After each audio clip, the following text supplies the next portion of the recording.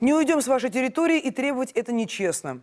Это ответ турецкого президента Эрдогана на ультиматум Багдада вывести из Ирака отряды турецкой армии, вторгшиеся в северные провинции. Причем Багдад уже обратился к, с письмом в ООН, заявляя, что его территорию незаконно оккупировали. Но Эрдоган продолжает настаивать – не выведем. Причем якобы эти войска находятся там по приглашению иракского премьера и тренируют иракскую армию. Но подтвердить это невозможно. В самом Ираке и премьер, и президент заявляют, ничего подобного не слышали. И правда, ведь приглашали больше 10 лет назад, и приглашавшие уже далече. Причем на неделе Анкара эту группировку даже увеличила, ссылаясь на необходимость обеспечения безопасности инструкторов, которые якобы тренируют некие подразделения иракской армии.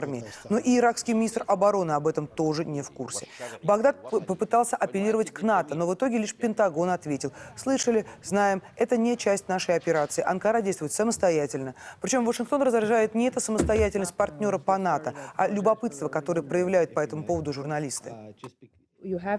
Есть сотрудничество, есть соглашение, но когда что-то идет не так, США говорят, что это их не касается, как в случае с турецкими войсками. Ой, ну бросьте, опять 25, снова дурацкий вопрос. Когда это я говорил, что это нас не касается? Вы говорите так о турецких войсках. Нет, нет, ну нет.